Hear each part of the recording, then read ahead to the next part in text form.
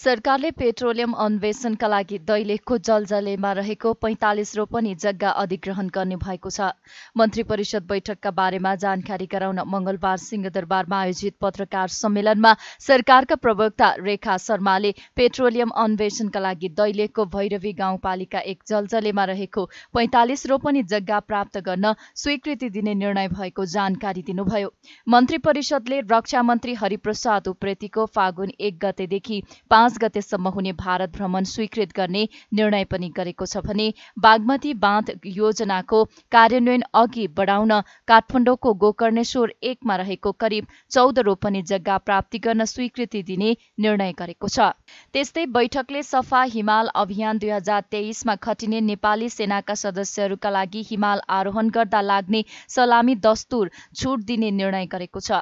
सम्पत्ति शुद्धिकरण निवारण तथा व्यावसायिक वातावरण प्रवर्धन सम्वर्धन सम्बन्धी केही ऐनलाई संशोधन गर्न बनेको विधेयकलाई संसदमा पेश गर्न स्वीकृति दिने मन्त्री परिषद कार्यालयका सचिव धनराज गेवालीलाई कानून मन्त्रालय र कानून मन्त्रालयका सचिव उदयराज सापकोटालाई मन्त्री परिषदको कार्यालय सचिव पदमा सरुवा गर्ने मन्त्री परिषदको निर्णय रहेको प्रवक्ता शर्माले बताउनुभयो। पेट्रोलियम अन्वेषणका लागि दैलेख जिल्लाको भैरवी गाउँपालिका वार्ड नम्बर एक जलजलीमा रहेको पैँतालिस रोपनी जग्गा प्राप्त गर्न स्वीकृति दिने निर्णय भएको छ। यसले एउटा महत्त्वपूर्ण अर्थ राख्छ भन्ने मलाई लाग्छ। र अर्को ऊर्जा जलस्रोत सिँचाइ मन्त्रालय अन्तर्गत छ।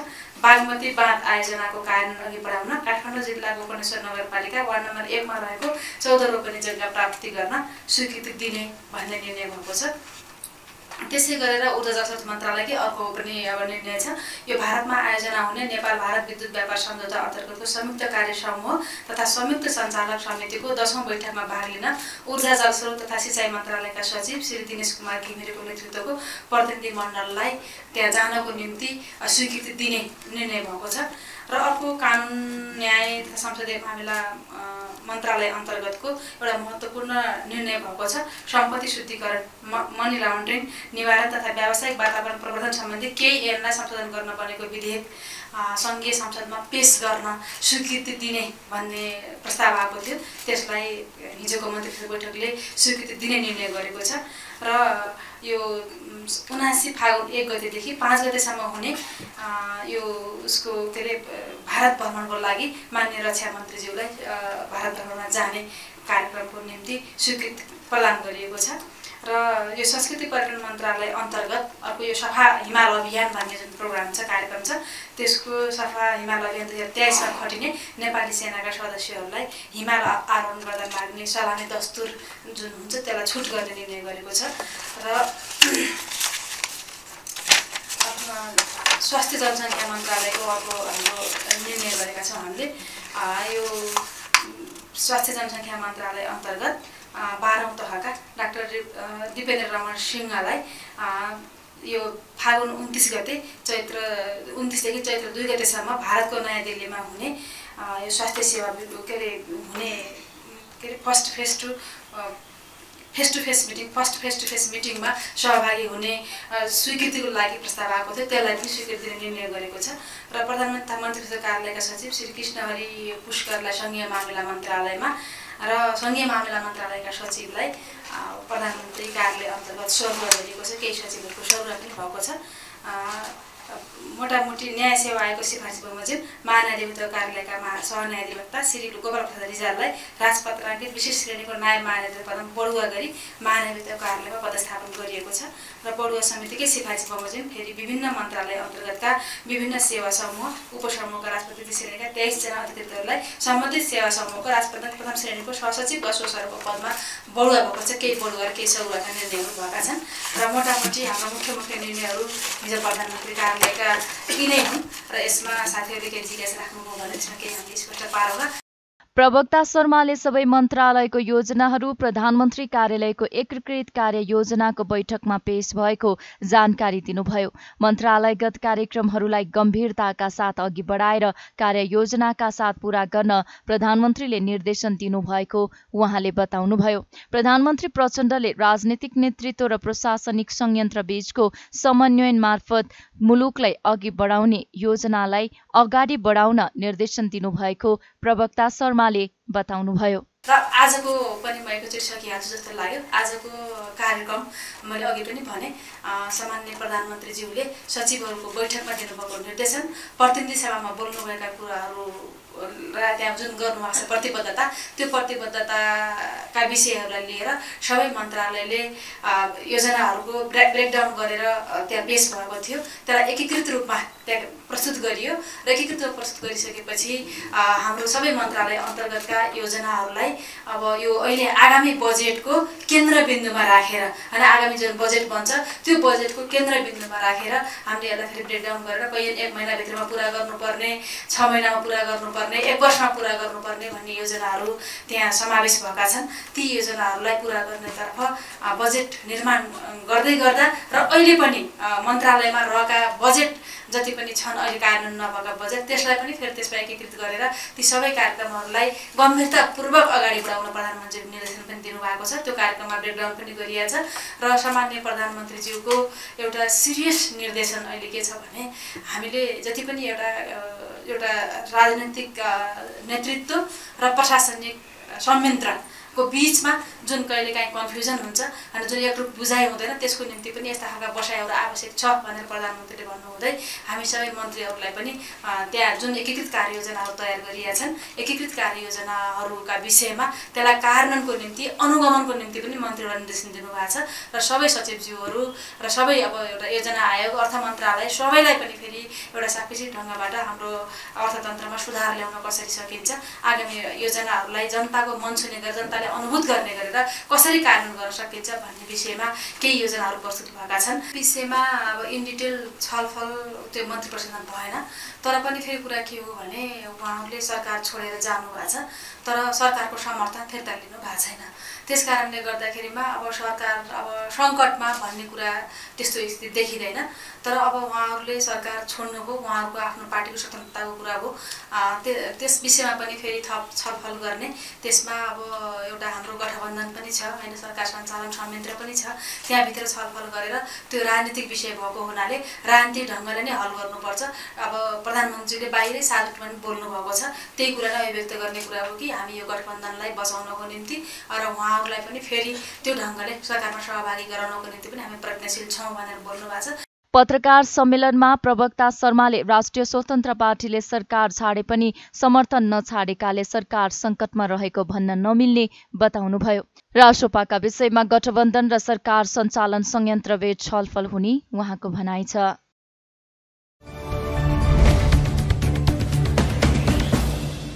प्रधानमन्त्री पुष्पकमल दाहाल प्रचण्डले सरकारी विधा धेरै भएकाले सेवा प्रवाह प्रभावित भएको र त्यसमा पुनर्विचार आवश्यक भएको बताउनु भएको छ। मंगलबार प्रधानमन्त्री तथा मन्त्री परिषदको कार्यालयमा प्रजातन्त्र दिवस मूल समारोह समितिको बैठकमा बोल्दै प्रधानमन्त्री प्रचण्डले सरकारी विधाहरू धेरै भएका कारण जनताको काम गर्ने समय कम भएको र सेवा प्रवाहमा समस्या देखिएको भन्दै यसबारे पुनर्विचार आवश्यक रहेको बताउनुभयो। प्रधानमन्त्री प्रचण्डले प्रजातन्त्र दिवस लोकतन्त्र दिवस गणतन्त्र दिवसमा एकै प्रकृतिका कार्यक्रम गरिँदै आएकाले त्यसबारे समेत थप आवश्यक छलफल गर्नुपर्छ। गर्नुपर्ने बताउनु भएको छ। बैठकले आगामी फागुन सात गते विविध कार्यक्रमका साथ प्रजातन्त्र दिवस मनाउने निर्णय गरेको छ। त्यसका लागि प्रधानमन्त्रीको संयोजकत्वमा मूल समारोह आयोजक समिति समेत गठन गरिएको छ।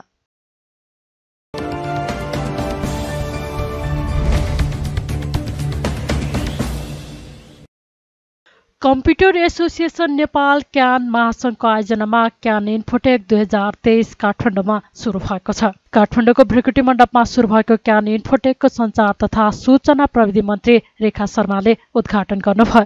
सो क्रममा मन्त्री शर्माले सूचना प्रविधिको प्रयोगले सार्वजनिक सेवालाई पारदर्शी बनाउन सकिने बताउनुभयो।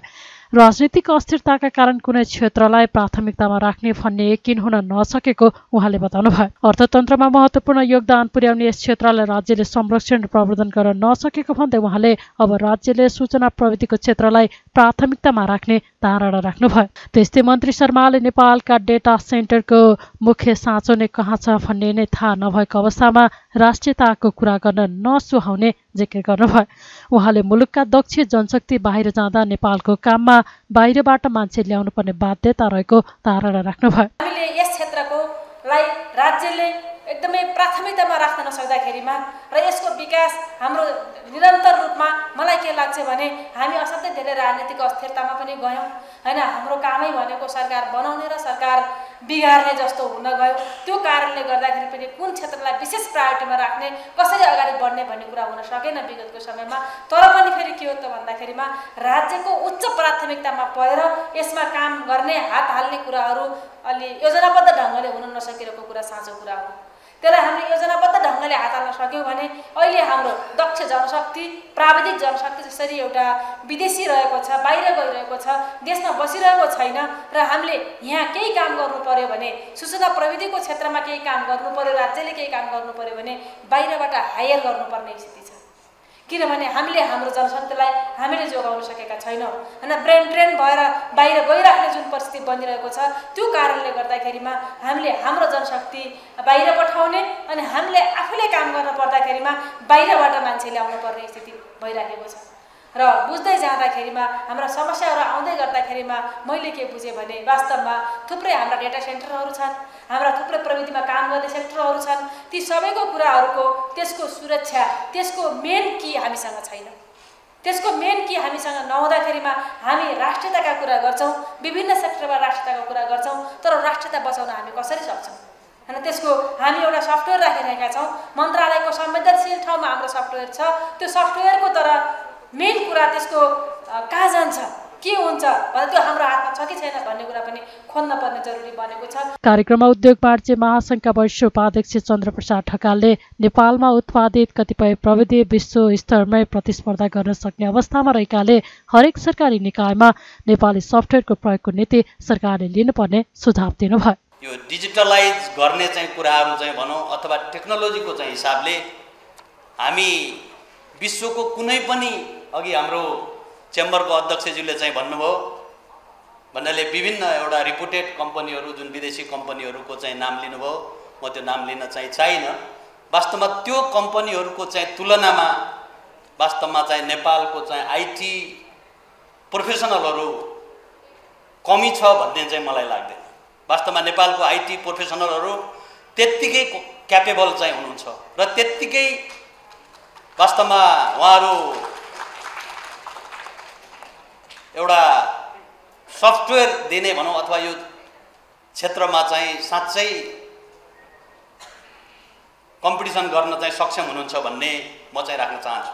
र सँगसँगै हामी जस्तो नेपाल सरकारको भनौँ अथवा नेपालका चाहिँ जुन एउटा चाहिँ संस्थागत रूपमा चाहे सफ्टवेयरको कुरा गरौँ चाहे अरू टेक्नोलोजीको कुरा गरौँ चाहे हामीहरूको हरेक जीवनमा आउन सक्ने टेक्नोलोजीको चाहिँ हिसाबले कता कता हामी नेपाली टेक्नोलोजी नेपाली चाहिँ उसलाई अलिक प्रायोरिटी चाहिँ नदिएको हो कि भन्ने पनि मलाई लाग्छ मान्य मन्त्रीज्यू।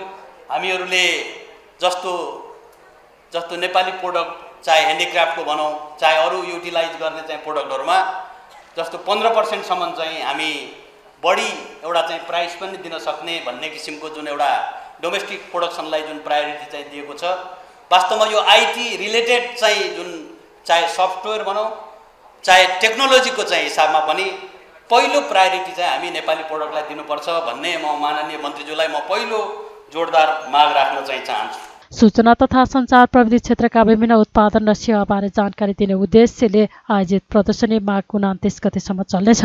प्रदर्शनीमा सूचना तथा प्रविधि क्षेत्रका हार्डवेयर सफ्टवेयर इन्टरनेट सेवा प्रदायक मोबाइल तथा मोबाइल एक्सेसरिज लगायत कम्पनीका दुई सयभन्दा बढी स्टल राखिएको क्यानले जनाएको छ। त्यस्तै हरेक दिन आइटी सेमिनार सञ्चालन गरिने पनि आयोजक क्यानले जानकारी दिएको छ। क्यान इन्फोटेकको करिब साढे तिन लाखले अवलोकन गर्ने अपेक्षा गरिएको छ।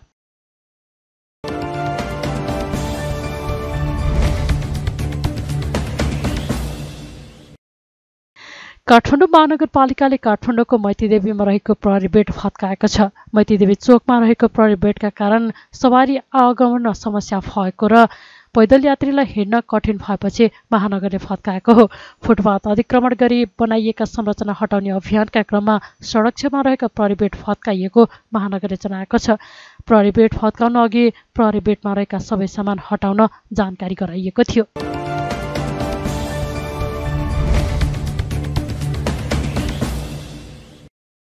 नाट्य सम्राट बालकृष्ण समको एक सय एक्काइसौँ जन्म जयन्ती विभिन्न कार्यक्रम गरी मनाइएको छ। सम जयन्तीका अवसरमा मंगलबार तिलगङ्गा स्थित सञ्चारग्राममा रहेको बालकृष्ण समको पूर्णकतको शालिगमा माल्यार्पण गरिएको छ। त्यस्तै कवि शिरोमणि लेखनाथ पौड्याल र महाकवि लक्ष्मीप्रसाद देवकोटाको पूर्णकतको शालिगमा समेत माल्यार्पण गरिएको थियो। कार्यक्रममा त्रिमूर्ति निकेतनका अध्यक्ष इन्दिरा प्रसाई बालकृष्ण सम फाउन्डेसनका संयोजक मदनदास श्रेष्ठ लगायतले त्रिमूर्ति कवि शिरोमणि नाट्य सम्राट महाकविले देखाएको बाटोमा हिँड्नु नै त्रिमूर्तिको सच्चा श्रद्धाञ्जली हुने धारणा राख्नु भएको थियो। एक सय एक्काइसौँ जन्म जयन्तीको सन्दर्भमा उहाँप्रति हार्दिक श्रद्धासुमन अर्पण गर्दछु र साथै हाम्रा कवि शिरोमणि लेखनाथ पौड्यालज्यू र पौड्याल साथै महाकवि लक्ष्मीप्रसाद देवकोटामा पनि हार्दिक श्रद्धासुमन अर्पण गर्दछु। आजको यो समजयन्तीका उपलक्ष्यमा अहिले भर्खरै नाट्यभूषण मदनदास श्रेष्ठज्यूबाट उनले भन्नुभयो जस्तै गरिकन हामीले विराट कार्यक्रम गरेर ठुलो कार्यक्रम गरेर धेरै जनसङ्ख्यामा व्यक्तिहरूलाई समाविष्ट गराएर कार्यक्रम गर्न सक्नु पर्थ्यो आफैले पनि। त्यो हाम्रो सीमित क्षमताले हामी गर्न सक्दैनौँ। तर उहाँले गर्नुभएको जुन अनुरोध छ राष्ट्रले सरकारले चाहिँ यो गरिदिन सकेदेखि उहाँहरूको जुन एउटा चाहिँ समाजलाई राष्ट्रलाई साँच्चै भन्ने हो भने समका कवि शिरोमणिका महाकवि देवकोटाका उहाँहरूले लेख्नुभएका जुन उहाँहरूको लेखन छ उहाँहरूले जुन आफ्नो भावना व्यक्त गर्नुभएको छ त्यो विश्व बन्धुत्वमा नै आधारित छ। बालकृष्ण समको जन्म विक्रम सम्मत उन्नाइस सय उनासाठी साल माघ चौबिस गते काठमाडौँको ज्ञानेश्वरमा भएको थियो। औपचारिक रूपमा समले आइएससीसम्मको मात्र अध्ययन गरेको भए पनि आफ्नै अध्ययनबाट उहाँले पूर्वीय एवं पाश्चात्य कला साहित्य धर्म दर्शन विज्ञान इतिहास आदिको गम्भीर विवेचना गर्ने सामर्थ्य प्राप्त गर्नुभएको थियो। बालकृष्ण समले कविता नाट्य कथा प्रबन्ध निबन्ध जीवनी आदि विभिन्न क्षेत्रमा कलम चलाउनु भएको थियो। समलाई नेपाली साहित्यमा नाट्य सम्राटको विशिष्ट सम्मान प्राप्त छ।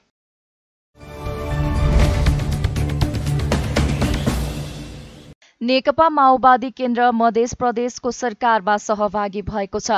मंगलबार माओवादीबाट उद्योग पर्यटन तथा वन मन्त्रीमा सुनिता यादव र राज्यमन्त्रीमा रहबर अन्सारीलाई मुख्यमन्त्री सरोज कुमार यादवले पद तथा गोपनीयताको शपथ गराउनु भएको हो। यसअघि मन्त्रालयका विषयमा विवाद हुँदा मध्य प्रदेश सरकारमा माओवादी केन्द्र सहभागी भएको थिएन।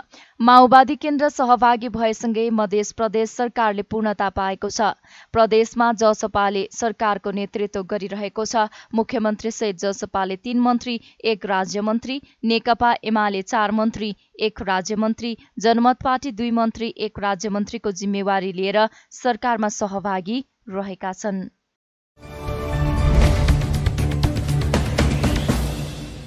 नेपाल रेड क्रस सोसाइटीले रेड क्रसको अन्तर्राष्ट्रिय महासङ्घको आर्थिक सहयोगमा विभिन्न जिल्ला स्थित रेड क्रसका निकायलाई तीसवटा एम्बुलेन्स हस्तान्तरण गरेको छ। मंगलबार काठमाडौँमा स्थानीय आवश्यकता पहिचान गरी तीसवटा ख वर्गका एम्बुलेन्स खरिद गरी तीसवटा जिल्ला स्थित रेड क्रसका निकायहरू मार्फत सञ्चालन गर्ने गरी सम्बन्धित जिल्लाका प्रतिनिधिहरू हस्तान्तरण गरिएको हो। कार्यक्रममा रेड क्रसको अन्तर्राष्ट्रिय महासङ्घका महासचिव जगन्नाथ चापागाईले उक्त एम्बुलेन्स हस्तान्तरण गर्नुभएको थियो। त्यस्तै पन्ध्रवटा जिल्ला शाखाहरूमा हाल उपलब्ध भएका एम्बुलेन्सको स्तरीकरण गर्ने काम पनि सम्पन्न भएको रेड क्रसले जनाएको छ। एम्बुलेन्स हस्तान्तरण गर्दै रेड क्रसको अन्तर्राष्ट्रिय महासङ्घका महासचिव चापागाईले अन्य जिल्लाहरूमा पनि अन्तर्राष्ट्रिय महासङ्घको आर्थिक सहयोगमा एम्बुलेन्स प्रदान गर्ने योजना रहेको बताउनुभयो। आज चाहिँ भनौँ न तिसवटा यो र पन्ध्रवटा चाहिँ अपग्रेड गरेको एम्बुलेन्सहरू आइएफआसीको तर्फबाट ह्यान्डओभर गर्न पाउँदा मलाई बडो खुसी लागेको छ। र आज मात्रै मैले आजमासँग कुरा भएको थियो। आजमा I'm just telling them what we discuss today कि अब तिसवटा जिल्लाले त पाउनुभयो अरू सत्तालिस जिल्लाको के हुन्छ? We just discuss about that what happens to the forty seven district chapters who haven't received it र हामीले के भन्यौँ भने होइन त्यो सतहत्तर जिल्ला त्यो सैँतालिस जिल्लालाई पनि के गर्न सकिन्छ सोच्न सुरु गरौँ भनेर हामीले आज मात्रै कुराहरू भएको छ। र हिजो मात्रै कुरा भयो डक्टर समीरले भन्नुभयो अनुसार अब हामीले नेपाल सरकारसँग पार्टनरसिप गरेर नेपाल सरसँग नेपाल सरकारसँग पार्टनरसिप गरेर सेन्ट्रलाइज डिस्प्याच सेन्टरबाट काम गरेर देशमा मैले हिजो एउटा सुनाएको थिएँ म साउदी अरेबिया गएको थिएँ। साउदी अरेबियाको रेड क्रेसेन्टले चाहिँ उनीहरूको एम्बुलेन्स चाहिँ नौ मिनटमा नौ मिनटमा त्यो देशको कुनै पनि भागबाट मलाई एम्बुलेन्स चाहिने चाहियो भनेर कल आयो भने नौ मिनटमा एम्बुलेन्स पुग्छ। र सबभन्दा फास्टेस्ट संसारमा एम्बुलेन्स प्रोभाइड गर्ने भनेको न्युयोर्क सिटीले हो अमेरिकामा। त्यहाँ सात मिनटमा पुग्छ। र साउदी अरेबियाको रेड क्रासले मलाई के भन्यो भने हाम्रो लक्ष्य भनेको चाहिँ न्युयोर्कभन्दा राम्रो हुने हो। हेर्नुहोस् त रेड क्रसमा कत्रो हिम्मत छ त्यहाँ। त्यो हिम्मत हामीले नेपालमा ल्याउनुपर्छ नेपालको परिस्थितिमा सात मिनट सम्भव नहोला नौ मिनट सम्भव नहोला। तर हामीले त्यो लक्ष्य राख्नुपर्छ। हस्तान्तरण गरिएका एम्बुलेन्सलाई प्रादेशिक स्तरमा स्थापना गरिएका प्रेषण केन्द्रमा आबद्ध गरी एक सय दुई नम्बर मार्फत सञ्चालन गरिने नेपाल रेड क्रस सोसाइटीले जनाएको छ।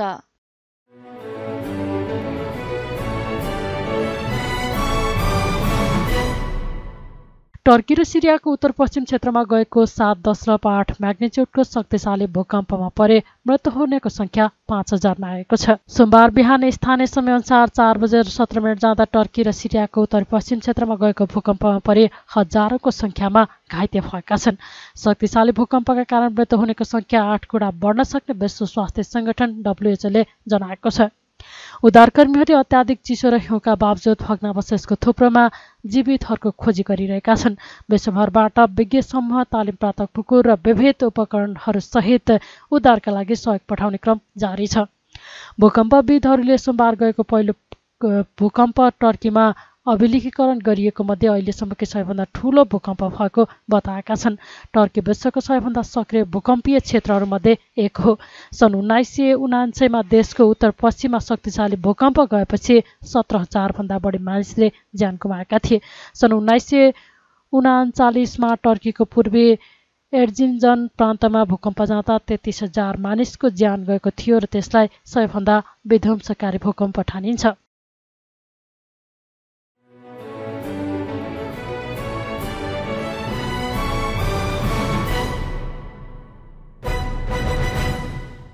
छैटौं संस्करणको राष्ट्रिय महिला भलिबल प्रतियोगिताको उपाधि न्यू डायमण्ड स्पोर्ट्स क्लबले जितेको छ।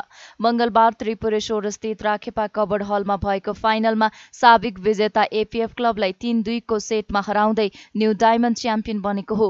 पहिलो पटक च्याम्पियन बन्ने क्रममा न्यू डायमण्डले एपिएफलाई अठाइस छब्बिस उन्नाइस पच्चिस पच्चिस बाइस पच्चिस उन्नाइस चौबिस छब्बिस र पन्ध्र नौले हराएको हो। उपाधिसँगै न्यू डायमण्डले तीन लाख रुपियाँ पुरस्कार प्राप्त गरेको छ।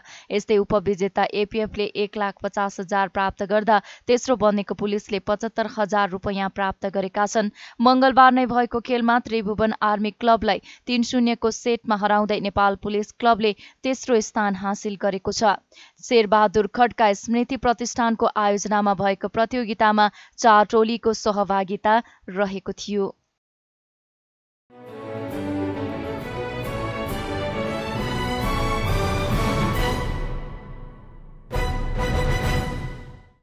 भारतमा पहिलोपटक हुन लागेको महिला आइपिएल क्रिकेट लिग डब्लुपिएलको अक्सनका लागि नेपालका पाँच खेलाडीको नाम सिफारिस भएको छ।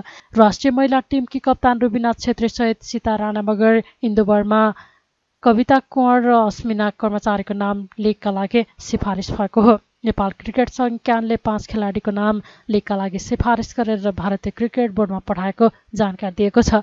लिगका लागि यही फेब्रुअरी तेह्रमा अक्सन हुँदैछ। भारतीय क्रिकेट बोर्ड बिसिसिआईका सिइओ हेमाङ्ग अमिनका अनुसार अक्सनका लागि एक हजार पाँच सय खेलाडीको नाम रजिस्टर भएको र यसै साता अक्सनका लागि अन्तिम लिस्ट सार्वजनिक हुनेछ।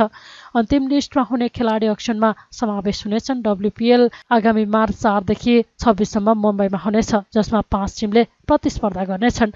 डबल डाउन रोबिनका आधारमा हुने लिगमा कुल बाइस खेल हुनेछ। लिगमा हरेक टिमले बढीमा अठार खेलाडी राख्न पाउनेछन् भने कम्तीमा पन्ध्र खेलाडी हुनुपर्नेछ। यस्तै एक टिमले सातजना विदेशी खेलाडी राख्न पाउनेछन् र त्यसमा एकजना एसोसिएट राष्ट्रको अनिवार्य हुनुपर्नेछ। प्लेइङ एघारमा पनि एकजना विदेशी खेलाडी अनिवार्य खेलाउनु पर्नेछ